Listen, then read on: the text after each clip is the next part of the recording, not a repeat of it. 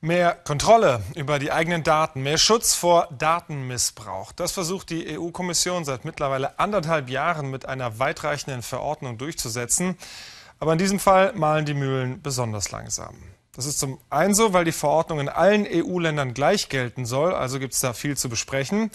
Das könnte zum anderen aber auch daran liegen, dass Lobbyverbände und Interessengruppen sich besonders ins Zeug legen, um eine allzu scharfe Datenschutzregelung zu verhindern. Ein Kongress in Barcelona. Hier verleiht ein Lobbyverband, der sich als Stimme der digitalen Wirtschaft sieht, einen Preis.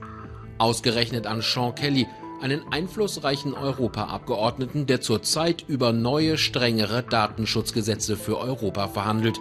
Kelly sieht die Kritik daran als Kampagne. Im EU-Parlament wird hart um das Gesetzespaket gerungen. Mehr als 4000 Änderungswünsche haben Abgeordnete eingereicht. Und genau diese Anträge haben der Journalist Richard Gutjahr und die weiteren Macher des Projektes Lobbyplug analysiert.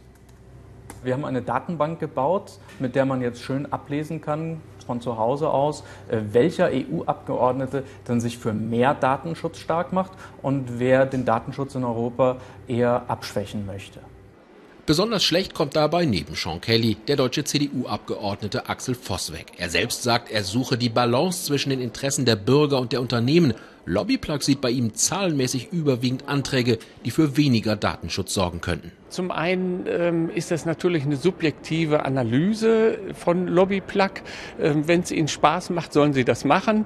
Die Stellung von Änderungsanträgen unterliegt auch durchaus taktischen Maßnahmen, wo man nicht immer das, was man wirklich möchte, eigentlich dort auch so hineingibt. Sie hat das neue Gesetzespaket vor 18 Monaten angestoßen. EU-Kommissarin Vivian Reding diskutierte heute in Luxemburg mit Europas Justizministern. Danach wettert sie gegen eine Gruppe von Ländern, die aus dem Diskutieren nicht mehr rauskämen. Deutschland